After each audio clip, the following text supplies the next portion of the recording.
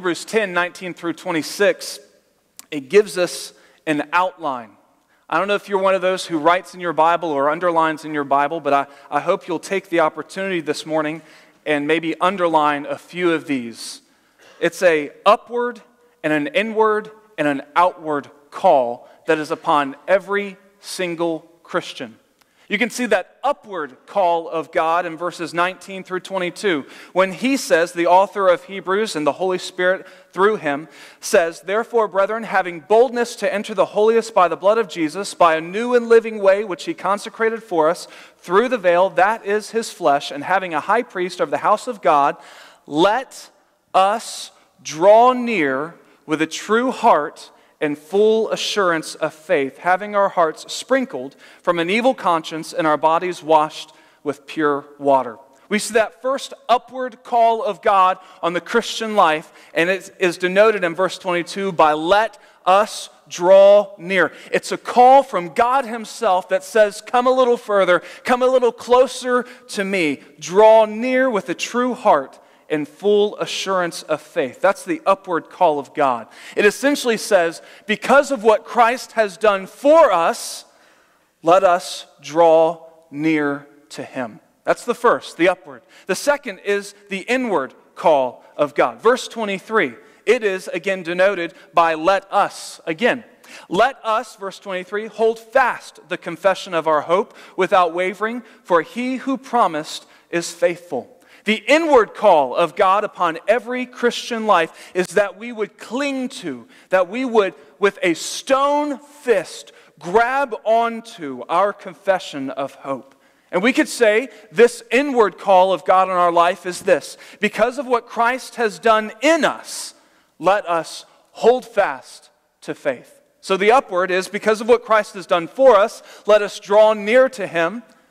And because of what Christ has done in us, let us hold fast to our faith. But our third is the outward call of God in our life. And that's seen in verse 24 when the author writes, And let us consider one another in order to stir up or to agitate or to irritate love and good works, not forsaking the assembling of ourselves together, as is the manner of some, but exhorting one another and so much the more as you see the day approaching. We have the upward, we have the inward, and we have the outward.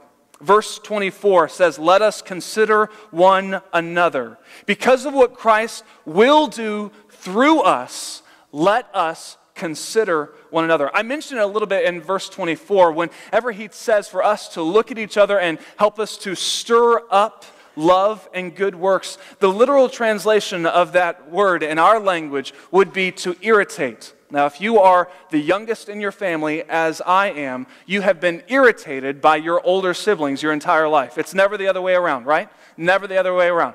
You have been irritated by, you know, I'm not touching you, I'm not touching you, and all those different things.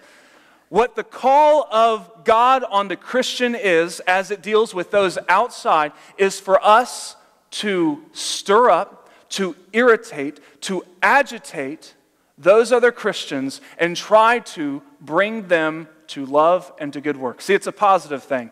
And I know all of your flashbacks to long uh, vacation drives across the United States with your sibling, you know, bothering you. That's a negative way.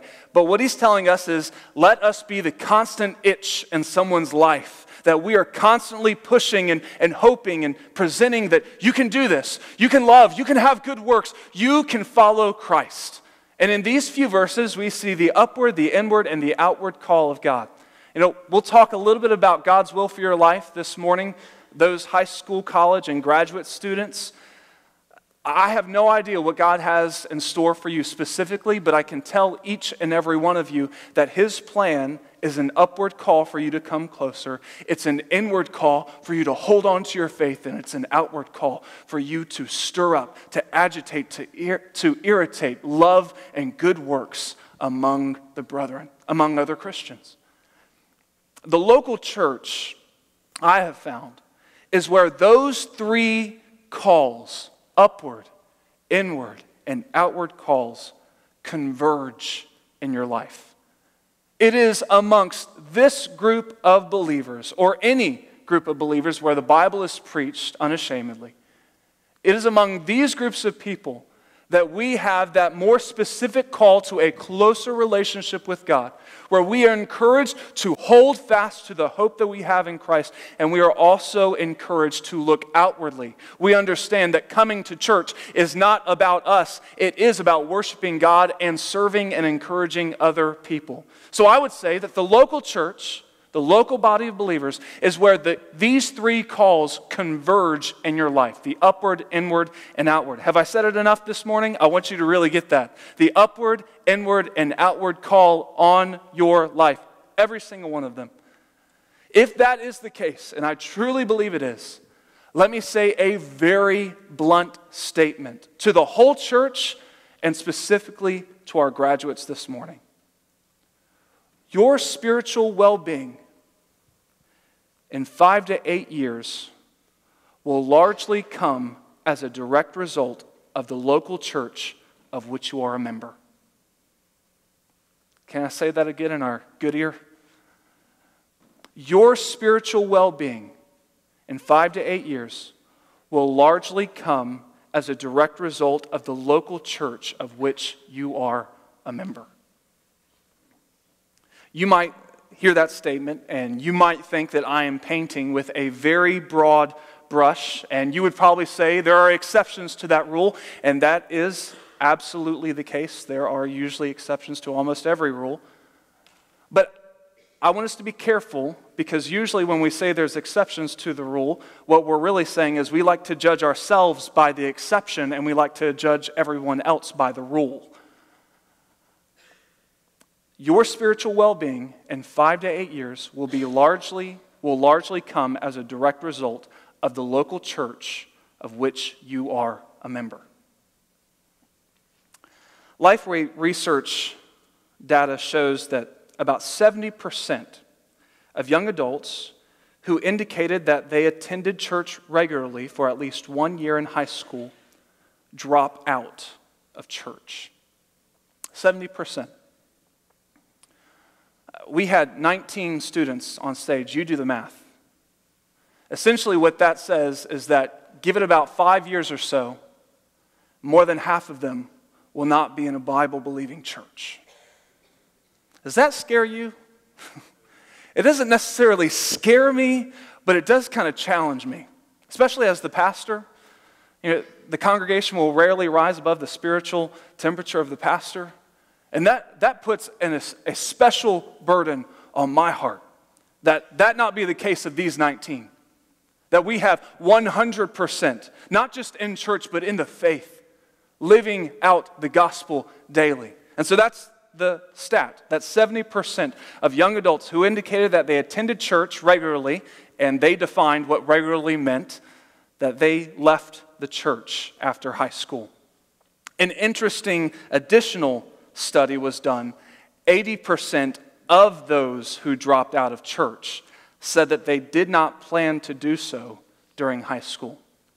That their intention all throughout their life was to be in church and to be an integral part of a body of believers.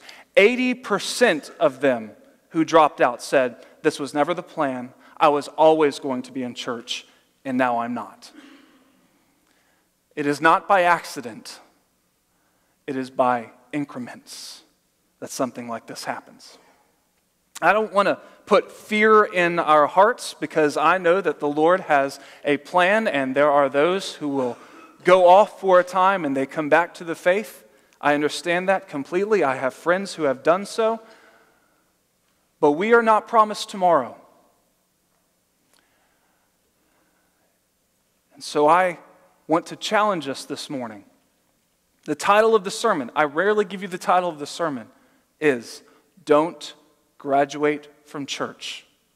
That sounds so silly. But you see, you are at a point in your life, and I'm not just talking to graduates here this morning. You could be at a point in your life where you feel as though you don't need this anymore, and you'll just graduate on out. High school students who graduate this week, they don't go back to their high school next week and just say, I just love it so much. If you do, you're crazy. I did not, that's for sure. Never want to go back to those awkward years, as if I'm not awkward enough now.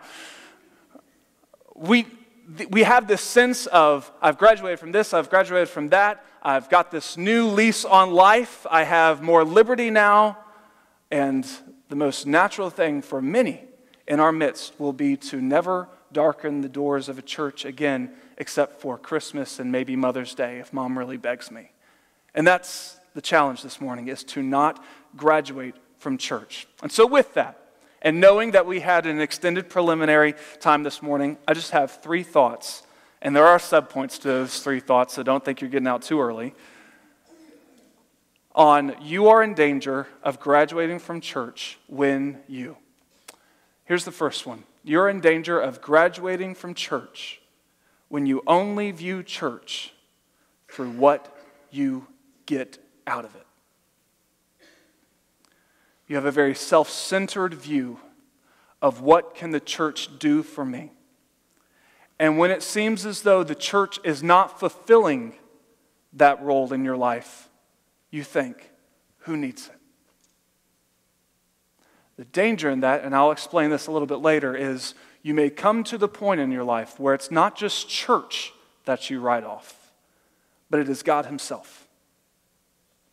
And so I would say this morning that you are in danger of graduating from church when you only view church through what you get out of it. Churches all across America and probably even the world, they are filled with people this morning who they attend, but they never get involved. They never volunteer, they never help out. The extent of their attendance is sitting in a pew, a pew. And that is not church. It's not about attendance. When you view church as only things that you can get out of it, it usually comes when students, when you graduate from high school and you go to a different college and you don't get grounded in another church and you just kind of hop from one church to another. And you only attend events that specifically appeal to you. You always have the option of, oh, I'll go to that or I won't go to this. You run the danger of graduating from church when you only view church as something that you can get something out of it. You only, when you only um, see church as something that you get something out of it, you open yourself up to being offended, by the way. Let me just kind of park here for a little bit. You open yourself up to being easily offended. I'm reminded of wise words from someone who I incredibly respect. He once told me just before I was going into the ministry, he said, Corey, you will get offended thousands of times in your ministry. Your success in the ministry will be based upon how you react to those offenses. And he was right. I got offended a thousand times the first week in ministry. No, I'm just kidding. Only a hundred times. Um, we seem to think that a church is filled with people who ought not say things, and they ought not say those things. But at the end of the day, they're filled with people who will still say things, and they'll still hurt your feelings, and they'll still say things that, come on. But it's how you respond to those offenses in your life that that will proclaim whether or not you're living a life of bitterness or you're living a life of joy. And my hope is that every single person who's in attendance in every church this morning is that they are here out of joy and not out of obligation and not out of bitterness. You see, sometimes church is described as a hospital, and I think that's a very valid parable. I think that's great. That we understand that this is a place where sick people, they are introduced to the great physician spiritually. I think that that is definitely the case. But with that analogy comes the danger of thinking that there are doctors in the church and there are patients in the church. That's not the case. It's not one ministering to another. It ought to be all Christians ministering to each other. So if you could think of a church and, and another analogy, I, w- I would submit to you that you start thinking of it as nurses during a plague. All infected with the same disease, yet all ministering to each other. It's not the doctor and, and the patient and some standoffish thing and, oh, he didn't, he didn't meet my needs. He didn't heal me. He didn't help. That person has never helped me. It, it ought to be. Each Christian, a nurse, walking amongst the infected beds and the infected people. And I can guarantee you, when you come at it in that view, You'll understand that yes, you're going to get offended, and yes, you will have those hurts and you'll contract those plagues. But you're just a nurse, and the Lord's just helping you work and help in the hearts of these people.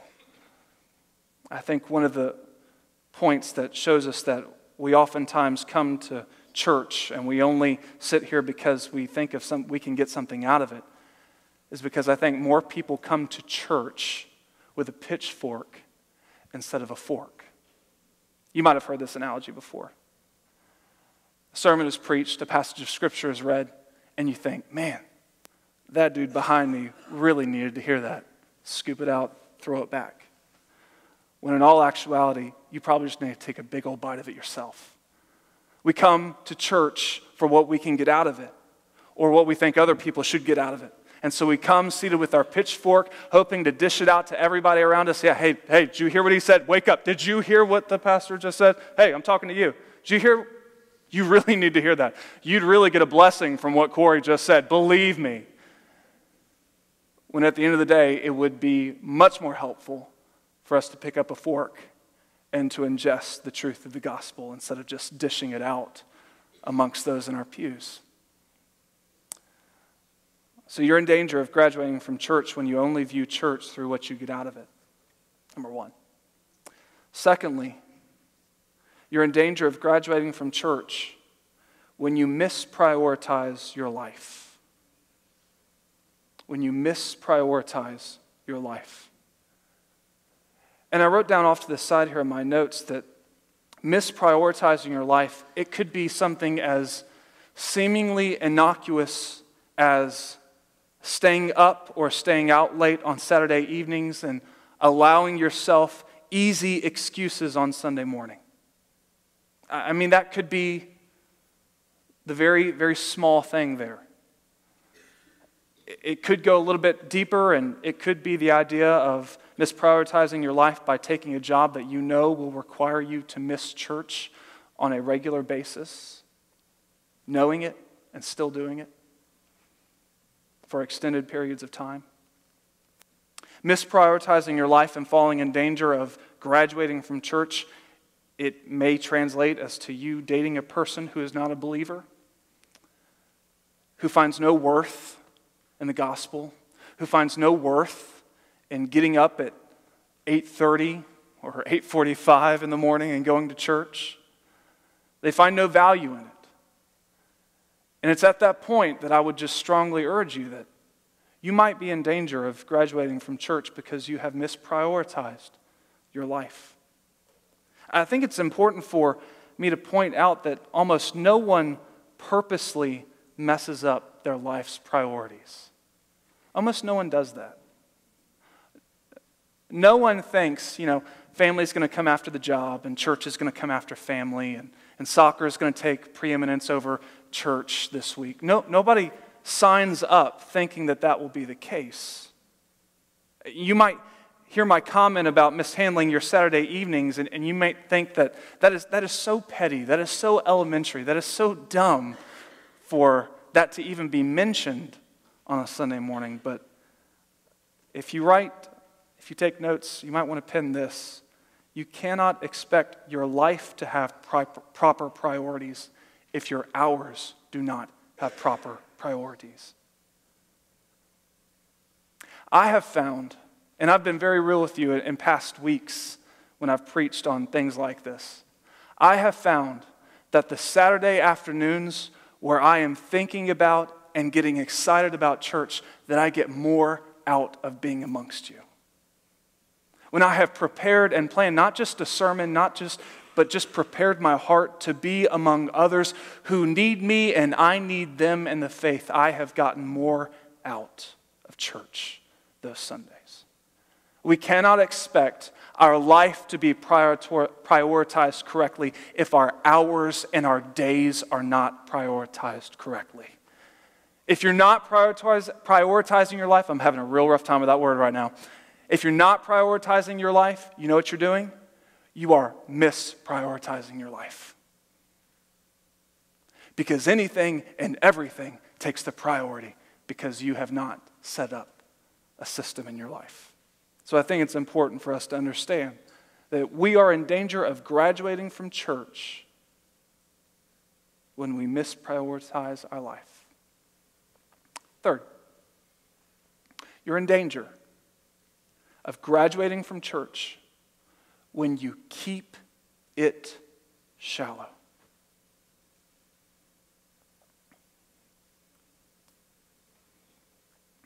You know, most people choose a church based upon style of music or events or ministries. They choose a church to be a member of that local group because of style more than upon doctrine. And that's dangerous. I hope you know how dangerous that is. That you would rather trade foundational truths of what a group of believers believes about the Bible over, oh, I love this song. That's dangerous. And so we are never more in danger of graduating from church when we just keep things shallow in our church experience. You keep church shallow when you don't hold yourself accountable to a small group or to a Sunday school. And you just kind of come to a worship service, and we are so glad that you did, but you just come and then you leave before, and, you don't get to know anybody. That's not church. You're keeping it shallow at that point. You're coming to an event, you're singing songs, and you're hearing a guy preach for 30 minutes or so. And that's it. You are never more in danger of graduating from church than when you keep it shallow by not holding yourself accountable to other people, to other Christians in your life, or when you isolate yourself from other generations. Brother David does an excellent job of making sure that our teens are oftentimes with our adults, our, our children. We have uh, those who are first grade and up with us today. That's, that's not because we couldn't find enough people to work junior church. That's because we find great value at New Hope Church of your seven year old seeing an 80 year old worship. There's great value in that. You're never more susceptible susceptible to graduating from church when you just isolate yourself from different generations. Every single one of us, we need somebody to chase after, someone who's older. We need somebody who is amongst us, who's going to hold us accountable. And we need somebody younger than us who we can minister to. Don't keep it shallow, church.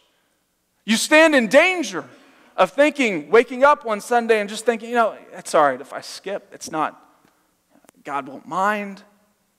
But when you think of it in the lens of helping others and bringing in others and bringing up a younger generation and ministering to people who are your age and gleaning wisdom from those who are older, you see church in a whole new light.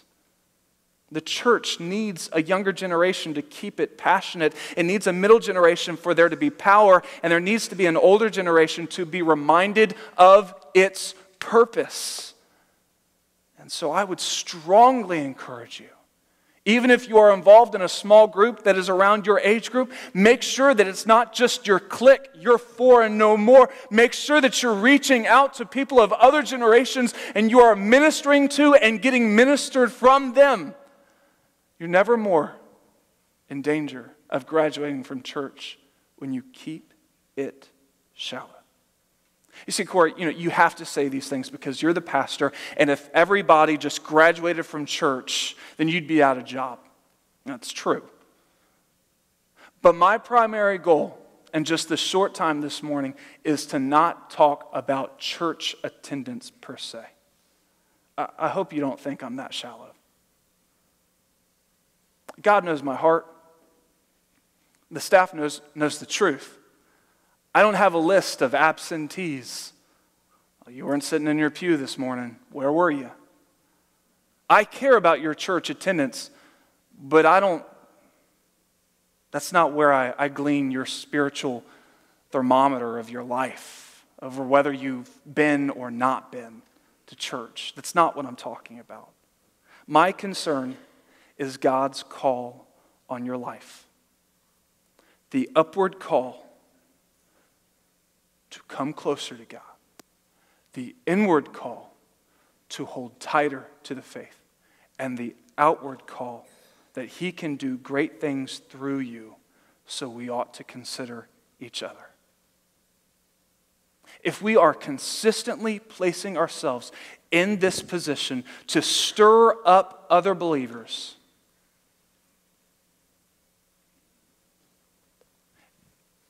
if we are giving up that opportunity where we just come to church and, we don't minister to somebody else, we are one step closer to not holding fast to our faith. Which means, and follow my reasoning, that we are even one step closer to not drawing near to God. It's not just about church attendance, it's about being the church. And part of being the church is being here. See, Corey, it's not about church attendance. It's, where else are you going to exhort believers this week? You going to stand outside of Dollar General? Are you a Christian? I exhort you. No. It's in the church, it's in a local group of believers. And so, my caution is to not so much fill a pew but to fill your role in the kingdom of God. He has placed an upward call, an inward call, and an outward call on your life. Don't graduate from God.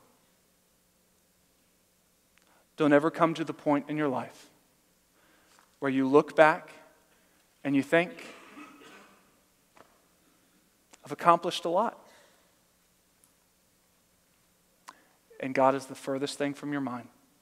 I can promise you, the person who realizes the upward, inward, and outward call of God upon their life will never come to that point. They will consistently be drawing near, holding fast, and ministering to others.